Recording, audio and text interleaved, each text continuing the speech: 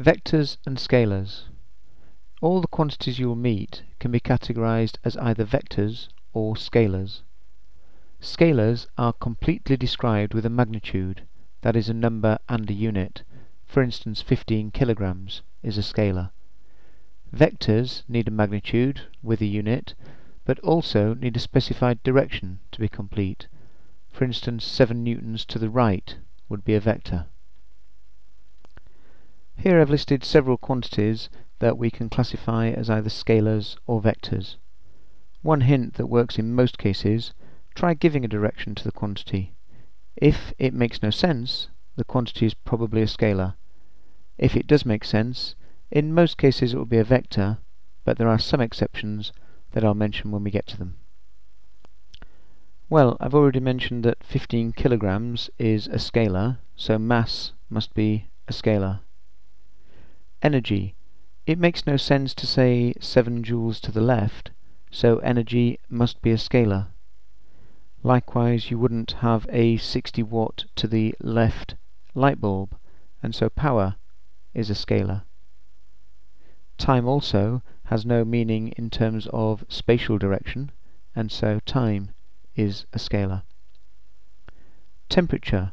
You wouldn't say that you had a temperature of 37 degrees C right, and so temperature is a scalar. Momentum.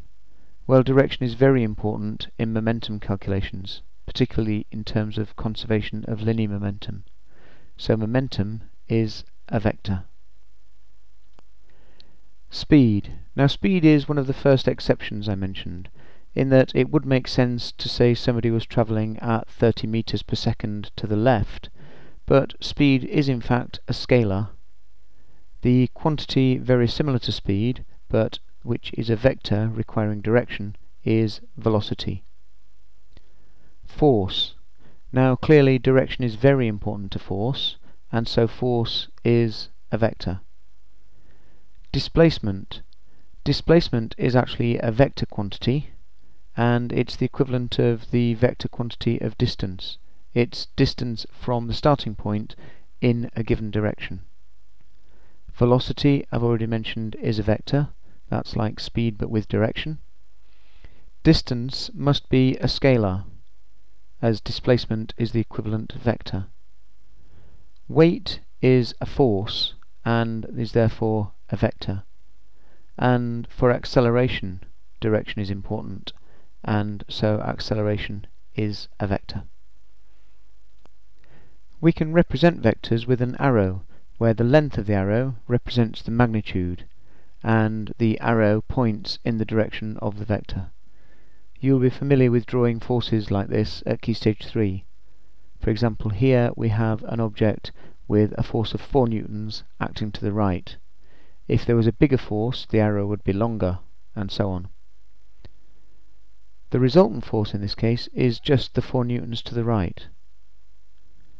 Here we have a box where there is 4 newtons to the right and 2 newtons to the left, so this arrow here will be twice the length of this arrow here, as it represents twice the force.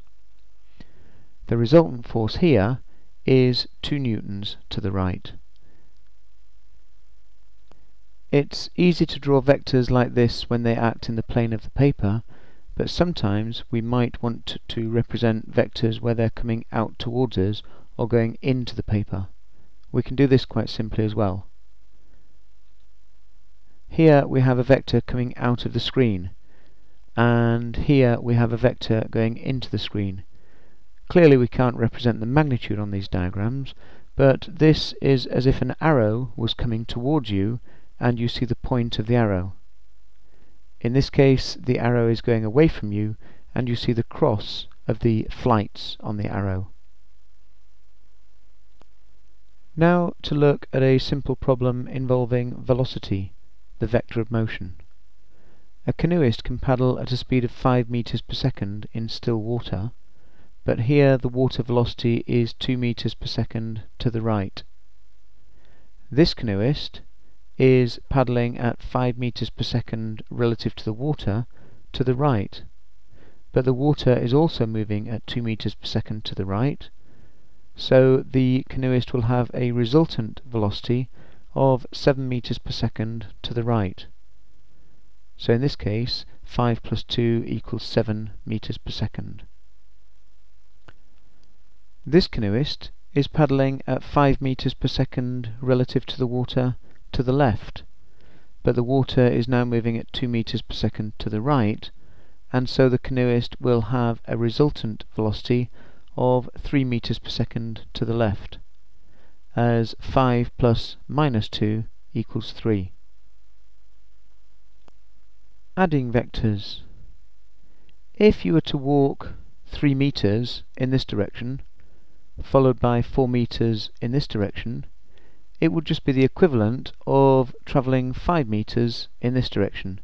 This is just a simple 3, 4, 5 triangle.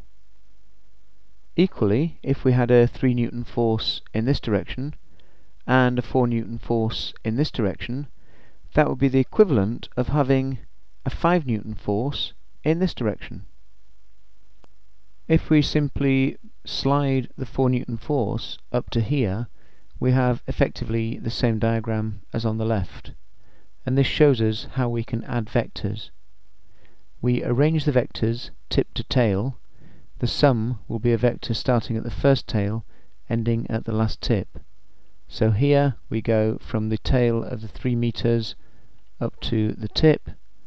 Then we have the tail of the 4 meters to here, the sum, this 5 meter line, goes from the first tail to the last tip.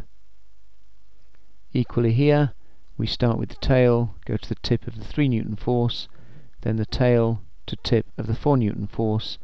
The sum, or resultant, is from the first tail to the last tip. You could find the resultant just by a careful scale drawing on graph paper. Don't forget the sum is also a vector and so we would need to specify a direction in our answer. We'll look at this more in the next example. This question asks what is the resultant of a 7 newton force acting due north, which we have here, and a 9 newton force acting due east, which we have here. So what we could do is draw the line F here in a scale drawing and simply measure it.